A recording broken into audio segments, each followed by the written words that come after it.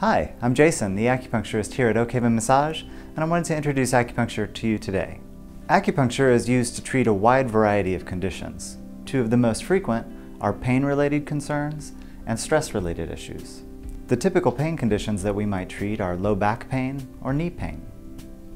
Low back pain is very common and acupuncture is particularly effective at treating low back pain. Uh, with only a few treatments, patients frequently see a dramatic change in their symptoms. The mechanism of action in treating pain is that the needles regulate the flow of vital energy in the body, causing the pain symptoms to decrease. In regards to the treatment of stress, acupuncture needles allow the mind to relax and the body to let go of stress, improving many different conditions. Stress can cause a cascade of symptoms through the body, leading to problems like headaches, insomnia, or digestive problems. Acupuncture allows the mind and body to relax, and you'll see a general improvement in all of these symptoms over several treatments. I'd like to demonstrate a typical acupuncture treatment today. Melanie's here to help us out, so let's get started. How are you doing today, Melanie? Good. Melanie's here today to get a treatment for stress reduction, so we're going to treat a couple of points on her forearm and her scalp. The points that we'll be treating on her forearm are on a meridian that travels to the head and helps reduce stress. The application of acupuncture uses sterile, single-use needles which are kept in a clean field to avoid contamination. Uh, let's take a look at those supplies now.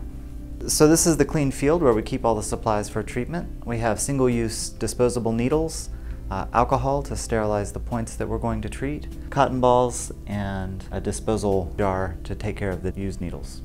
So we're going to treat a couple points today. First we'll sterilize them with alcohol.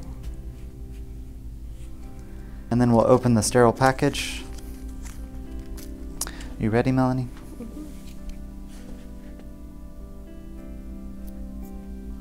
How'd that feel?